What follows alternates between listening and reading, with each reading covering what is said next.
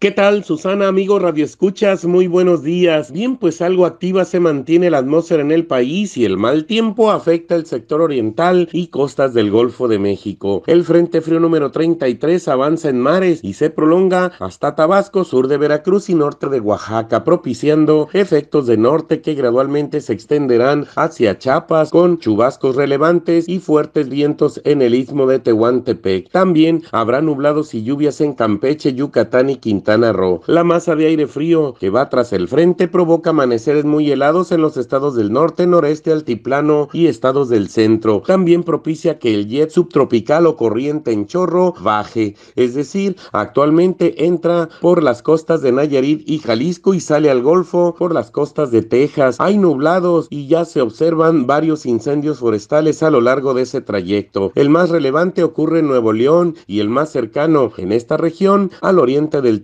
Cerca del desmoronado en el municipio de Talpa. Por otro lado, tiempo cálido y estable se observa en los litorales del Pacífico Sur y algo templado en los valles del centro y occidente. Aquí en la región de Bahía de Banderas amaneció con tres cuartas partes de cielo nublado. Habrá cielos mezclados de sol y nubes en mañana y tarde. La posibilidad de lluvia es poca. Habrá ciertas rachas de viento posterior al mediodía. Las temperaturas máximas rondarán los 25 grados cercano a las playas 28 grados algunos kilómetros tierra adentro. La mínima ocurrida en este amanecer fue de 15 grados y medio en zonas periféricas, 18 grados y medio en centros urbanos. Para el fin de semana habrá mediodía soleado con mañana y tardes y nubes dispersas. No es conveniente las quemas agrícolas hoy ni mañana, pero en general habrá buen tiempo para actividades turísticas y recreativas. Adelante, Susana.